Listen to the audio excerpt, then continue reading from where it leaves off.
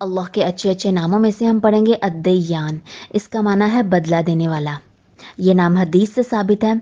अब्दुल्ला बिन उन्नीस से रवायत है कि मैंने सुना आप सल्लल्लाहु अलैहि वसल्लम को कि आप फरमा रहे थे, उठाए जाएँगे लोग क़यामत के दिन, नंगे बदन बेसाख्ता। उन्होंने कहा, बेसाख्ता क्या है? आप सल्लल्लाहु अलैहि वसल्लम ने कहा, नहीं होंगे उनके पास कोई भी चीज़, यानी कि वो खाली हाथ होंगे, फिर पुकारेगा उनको अल्लाह एक आवाज़ के साथ, सुनेगा उसको जो दूर वाला है इस तरह जैसे कि उसको करीब वाला सुनता है। आवाज़ आएगी, अनल मलिक, अनदयान, मैं हूँ बादशाह, मैं हूँ बदला देने वाला। अब हम देखते हैं कि अल्लाह ताला किस चीज़ का बदला देने वाला है। इसके बारे में हदीस है, सही मुस्लिम की, हदीस कुदसी है।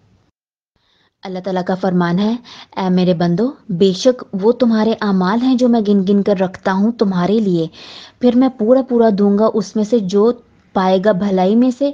बस चाहिए कि तारीफ़ करे अल्लाह की, और अगर उसके अलावा पाए तो मुलामत करे मगर अपने आप को। यानी हम देखें कि इंसान के अमाल हैं जिसका अल्लाह ताला इंसान को बदला देंगे पूरा पूरा इसके बारे में हम देखें, हम सूरतुल फातिहा पढ़ते हैं। उसमें हम क्या पढ़ते हैं? अल्हम्दुलिल्लाह रब्बिल आलमीन। तमाम तारीफ़ अल्लाह के लिए है, जो रब है तमाम जहानों का। अर्रहमान रहीम रहम करने वाला है, नहायत रहम करने वाला। मालिकी यौमिद्दीन। बादशाह है बदले के दिन का। यानी अल्लाह सुबहाना वाली इंसान के अमाल का उसको पूरा पूरा बदला देगा।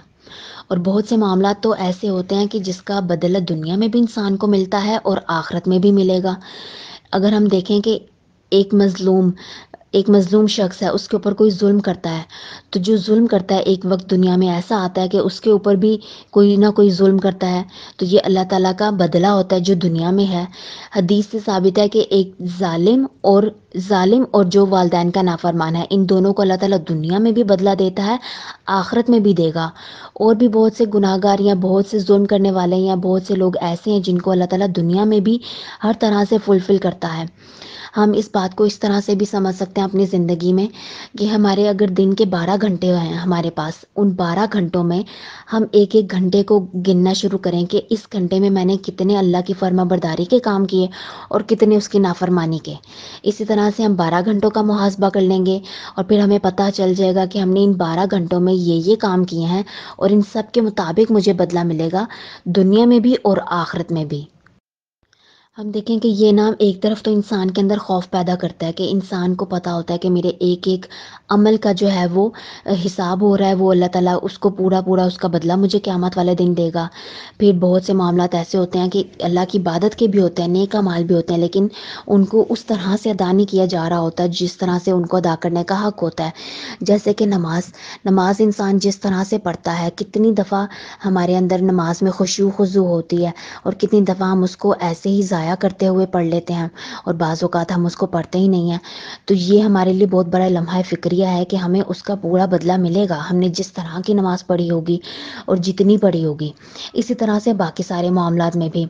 तो एक तरफ़ तो ये नाम हमारे अंदर खौफ दिलाता है कि अल्लाह सुबहाना वाली बदला देगा हर मामले का, और एक तरफ़ इंसान के अंदर उम्मीद पैदा होती है कि इंसान कोई भी नेक अमल करता है, उसको पता होता है कि अल्लाह ताला मुझे इसका बदला देगा। दुनिया में चाहे कोई उसको उसका बदला ना दे या उसको ज़ाया कर दे, लेकिन उसको उम्मीद होती है कि अल्लाह ताला ज़रूर मुझे इसका बदला देगा। हम अल्लाह ताला के खौफ को अपने अंदर पैदा करना चाहते हैं और उसकी उम्मीद को अपने अंदर पैदा करना चाहते हैं तो हमें अल्लाह को इस काम के साथ कसरत से पुकारना है, इसके साथ ताल्लुक़ जोड़ना है।